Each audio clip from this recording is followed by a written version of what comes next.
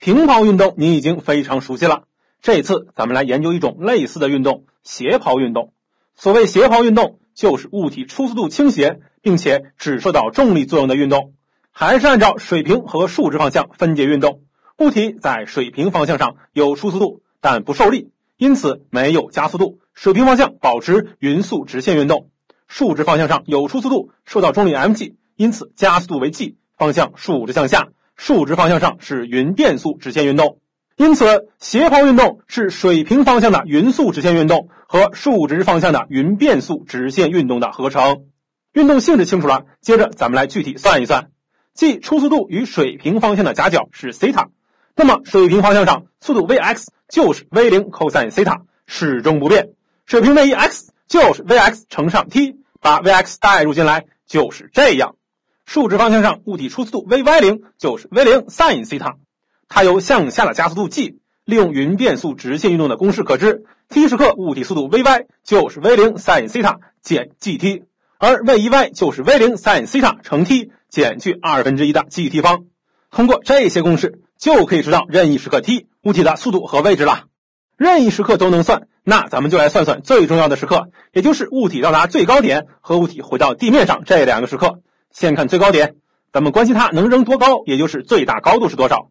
物体具有竖直向上的速度分量时，高度在增加；物体具有竖直向下的速度分量时，高度在减小。因此，物体处于最高点时，竖直方向的速度是零。把 v_y 的式子拿出来，让它等于零，这就可以得到物体到达最高点的时间了。把这个时间代入竖直方向位移的式子里，就可以计算出最高点的高度。不过，这个式子代入整理有点麻烦，咱们可以换个更简单的方法。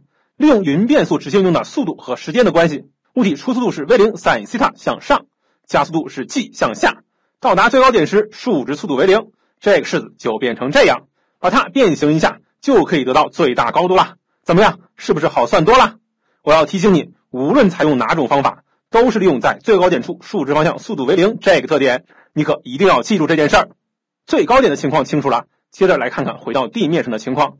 此时，咱们关心它抛出了多远，也就是射程是多少。看看这四个量，哪一个是确定的呢？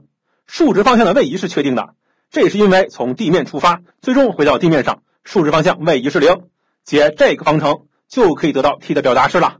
把这个式子跟最高点时间比较一下，刚好是两倍关系，这很好理解。落地点跟出发点高度相同，所以这个过程是对称的。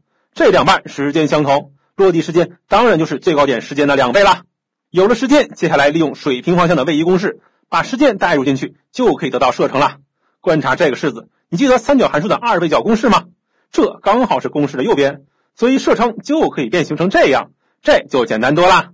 有了射程公式，就可以思考一个问题：如果初速度 v 零确定，那么以多大的角度抛出可以让射程最远呢？想要射程远，那就是让 sin 二西塔最大。根据数学知识，sin 二西塔等于九十度时，sin 二西塔等于一最大。因此，用西塔等于四十五度角抛出时，射程最大，最大值就是 v 零方比 g。以上就是斜抛运动的基本知识。